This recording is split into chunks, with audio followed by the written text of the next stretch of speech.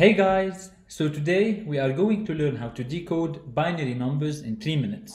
Stick around till the end of the video because I have a free gift for you.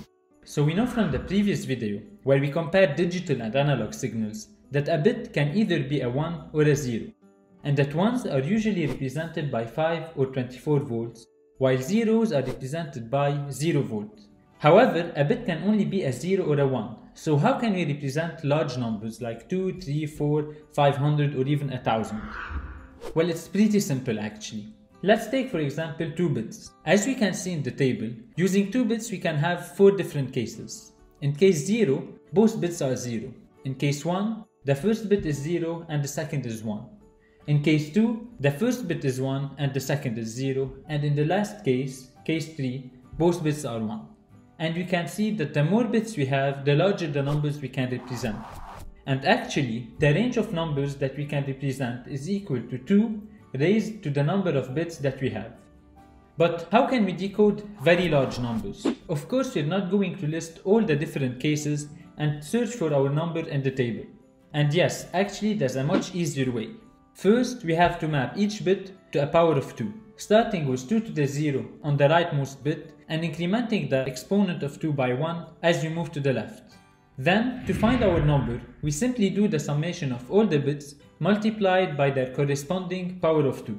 If we apply this method on our previous example, we can see that in case 0 we get 0 times 2 to the 0 plus 0 times 2 to the 1 which is equal to 0. For case 1 we have 1 times 2 to the 0 plus 0 times 2 to the 1 which is equal to 1 or 2 to the 0. For case 2, we have 0 times 2 to the 0 plus 1 times 2 to the 1, which is equal to 2. And finally, for case 3, we have 1 times 2 to the 0 plus 1 times 2 to the 1, which is equal to 3.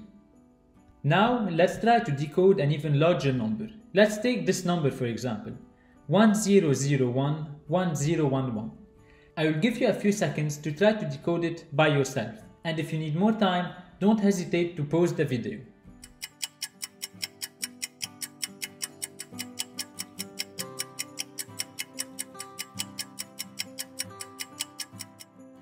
So, did you get it right?